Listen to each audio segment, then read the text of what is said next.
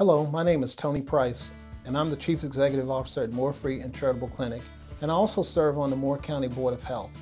I wanted to take this opportunity to share the importance of being vaccinated for COVID-19. The current COVID-19 vaccines are authorized by the FDA and CDC and are safe and effective.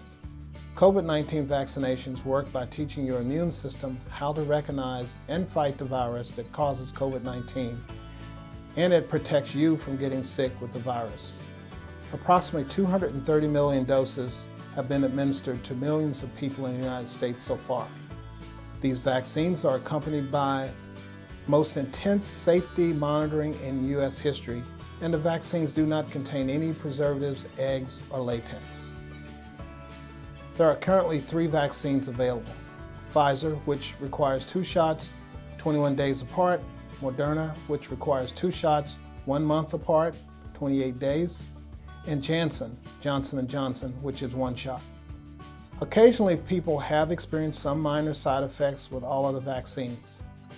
Side effects may include soreness around the injection site, fatigue, headache, muscle ache, fever, chills, or nausea. They're all minor, normal, temporary, and will go away in a few days. A reaction is a sign that your body is building protection against the virus. Janssen has undergone additional review and women 50 or younger should be aware of potential blood clotting. Here is the good news.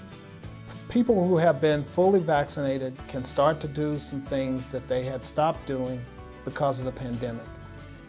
Once your vaccinations have been completed, you can gather indoors with fully vaccinated people without wearing a mask or staying six feet apart. You can gather indoors with unvaccinated people of any age from one another's household without mask or staying six feet apart, unless any of those people has an increased risk of severe illness from COVID-19.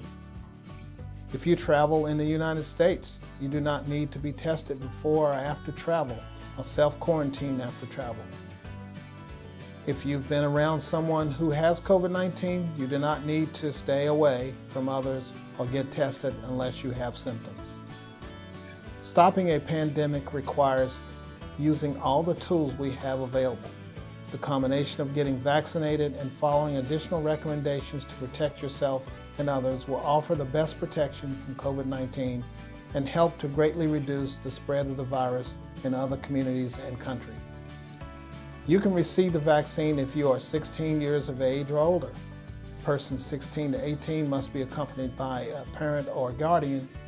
Please contact Moore County Health Department at 910-947-SHOT or FirstHealth Regional Hospital at 910-715-SHOT or call your local pharmacies to inquire for availability.